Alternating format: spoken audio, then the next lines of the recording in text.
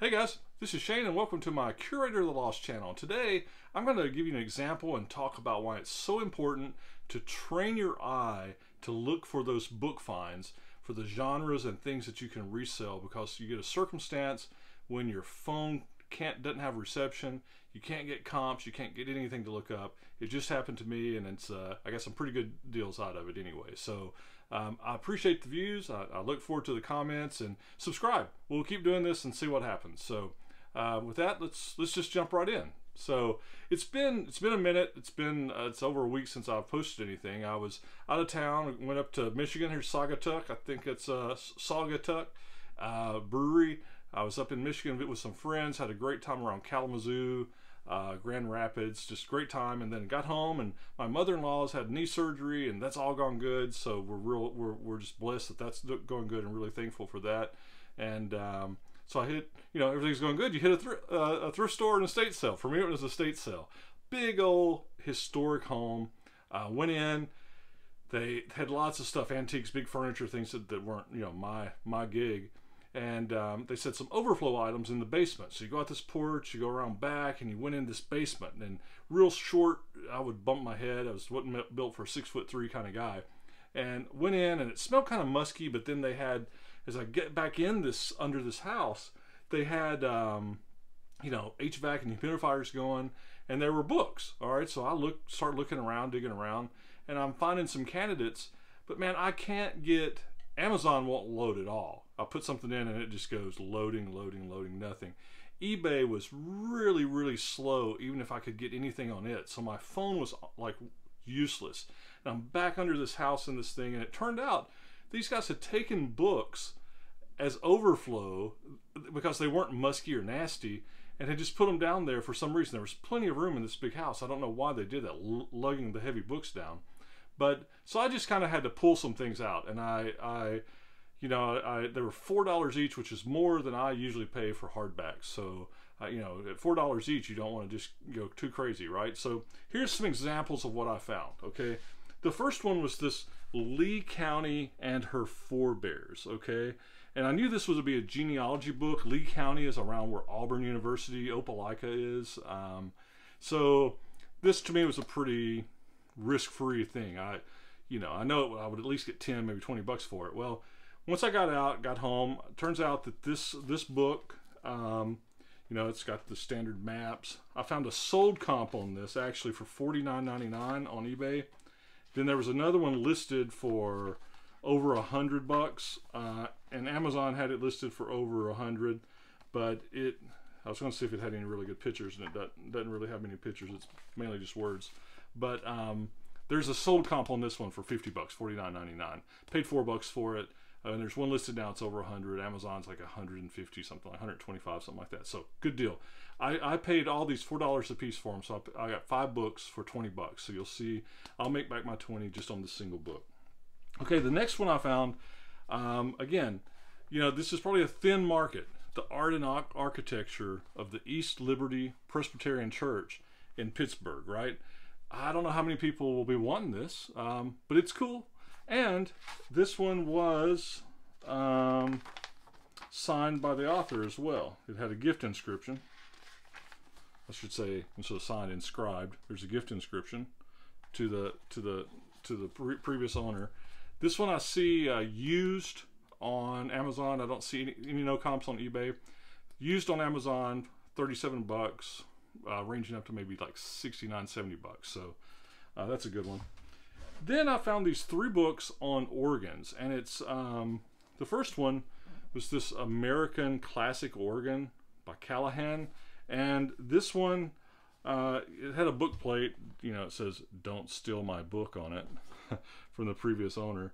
It says, um, "Steal this book for fear of shame, for in it is the owner's name." And when you die, the Lord will say, Where is the book you stole that day? And if you say you do not know, then the Lord will say, Go down below. So this that's what the previous owner put in his book, so nobody steal his book. But it is uh, signed to his colleague by Mr. Callahan. So it's a, it's a gift inscribed copy. Um, again, no eBays on this one. Um, Amazon, 63 bucks. Okay, so I'm feeling pretty good there. Then I found these the other two organ books, and I'm not sure how. You, at first, I thought this was maybe another uh, like an autobiography book, but it was this. It says this. If you can read it, it's AE, kind of some old Irish script or Gaelic script or something. This um, I don't know how you say that. Olean, Alien, Skinner, remembered.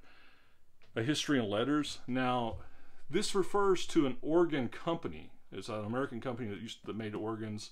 And again, no no eBay comps on this of any kind, but I have Amazon.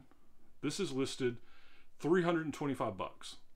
So, I think that's pretty cool. And again, well, the guy has his "Don't steal my book" or the you know the Lord will get you uh, emblem there, but it's also signed by Callahan, same author as the other one. So, uh, in, gift inscription, Amazon, 325 with no uh, author inscription. So, I'm thinking this is really good for four bucks. All right, and then the last one, you can see it here. You can see what kind of organ it is again. This, uh, uh, you know, Alien. I put extra syllables in there. I know that's not how you say it. Um, maybe you have better luck than I do. But um, this one was by another guy, Smith. Okay, and this one was um, uh, unavailable. Uh, no comps for it at all, and it's it nothing sold, no listings, nothing available. Um, I, I, there was a paperback, but I didn't. There were no prices on it. Um, what's interesting is it's by the Organ Historical Society in Virginia. I'm thinking this is probably the first edition of this uh, by all accounts, and I'm thinking this is a this is a solid, you know, hundred dollar book as well. But no comps. I haven't gone deep on this one like ABE or something else. But for all of these, you know, I only have one sold comp for 50 bucks. That'll pay for my $20 investment on the five, and then I have, um, you know, Amazon list comps for these are it's three, four, five, right at about six hundred bucks. Even if I get half of that, at, I'll be should be, you know, at three hundred. Even if I just get a third of that, I should be at two hundred on my twenty dollar investment, which is pretty good.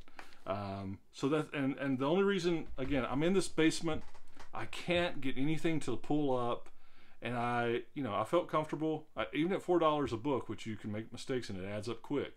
It's one thing if it's a dollar a book, but when it's four dollars a book, you want to be a little more cautious. The other thing was being in the basement. I smelled of these, and they clearly clean white edges, no foxing, no musky smell. These were not stored in the basement. They were just moved to the basement, this underground labyrinth dungeon type basement, uh, just for the sale, which is crazy. But they clearly had been taken care of and been in the house. So if they'd been all musky, I wouldn't have bought them regardless. So, um, so good finds.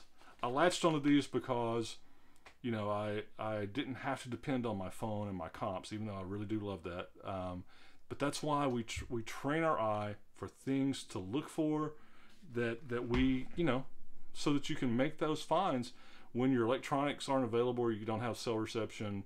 You know, like I, said, I, I go to this one Goodwill down in Florida I swear it's a Faraday cage. You get in there, it's all metal building. You can't get any reception on it. That's another case. But anyway, that's uh, the experience for today. Some good finds, some good potential sales, the cool stuff I like to put in my store.